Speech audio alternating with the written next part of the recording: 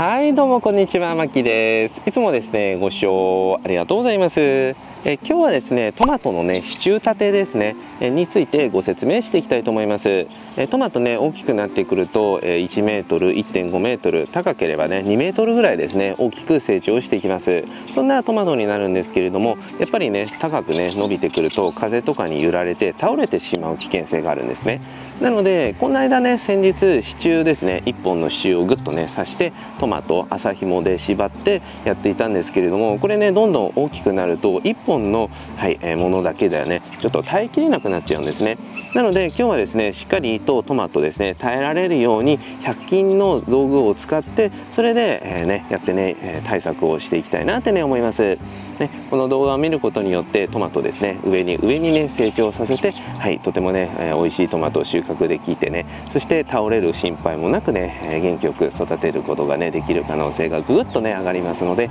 よければね参考にしてみてください、はい、それでは早速いきましょう。マッキーチャンネル。え今日ね使うものとしてはこれ100均で購入してきました長さですね210センチのですねはい、えー、支柱になります。これとあとは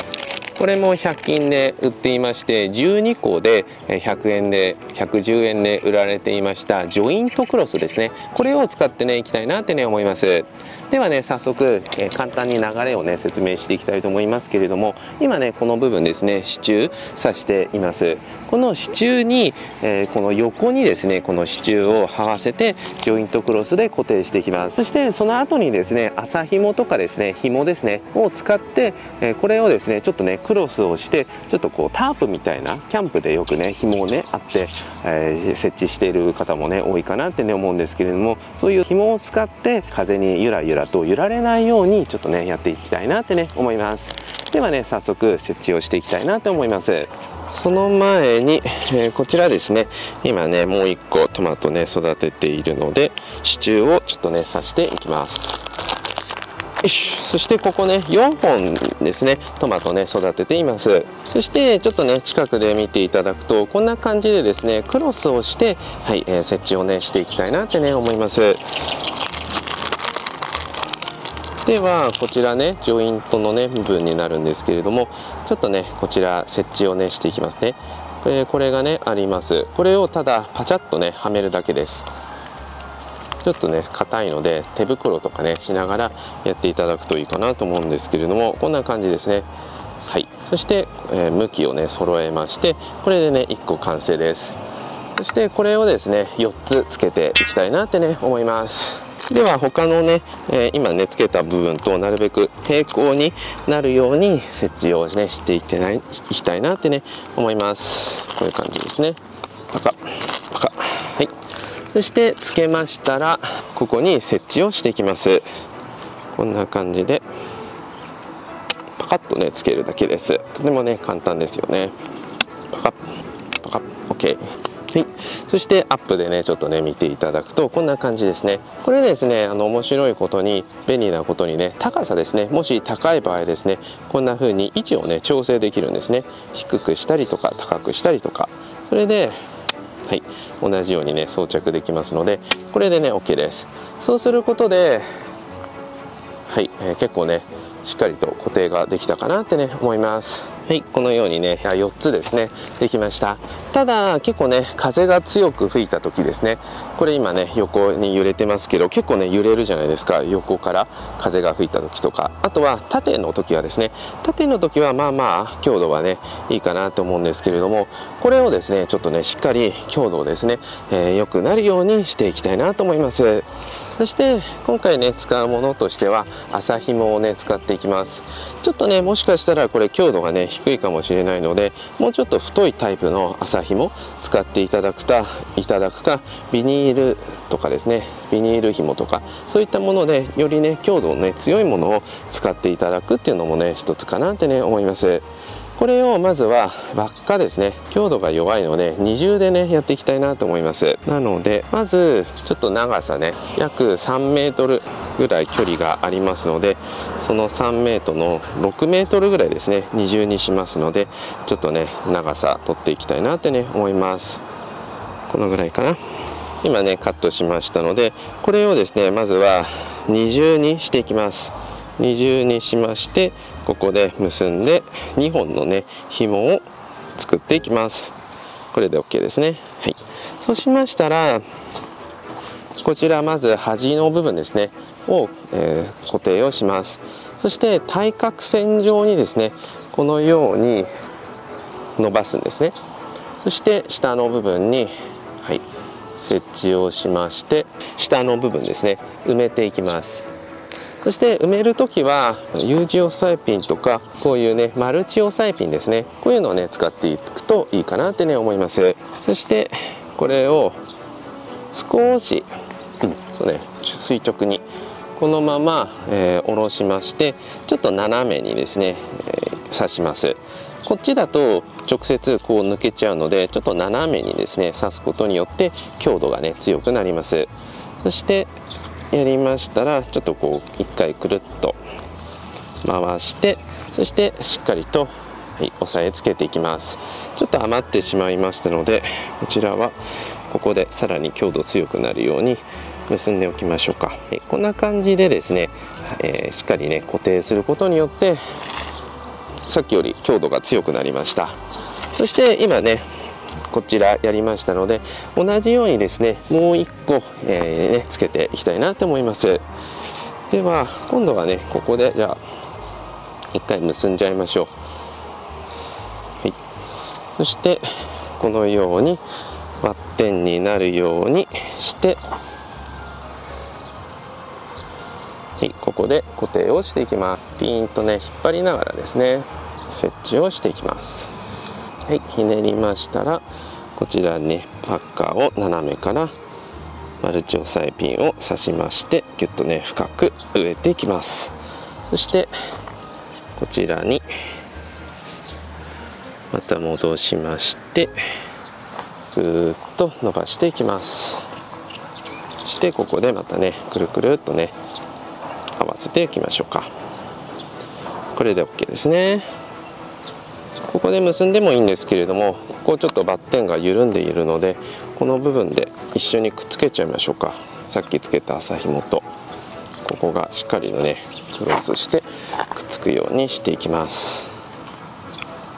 はい。そして結んじゃいますね。なるべくピーンとね貼りながらですね。はい。設置をしていきます。はい。OK です。これでねかなり強度が強くなったかなと思います。ちょっと揺らすと。はい。こんな感じでさっきよりね揺れいいですね。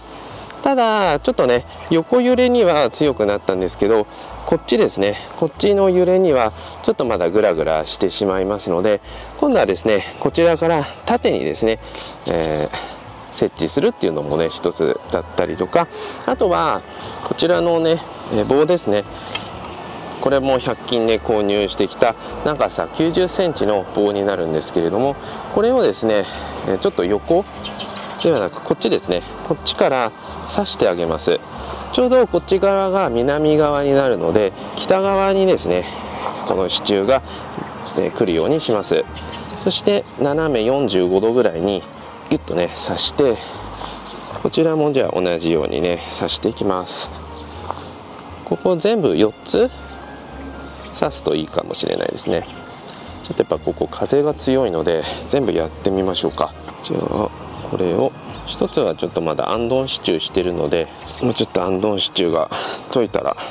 もう一個はやっておきたいと思います。そしてやりましたらまた麻紐で結んでいきます。はい麻紐を使ってこのね今装着したものとしっかりとくっつくように結んでいきます。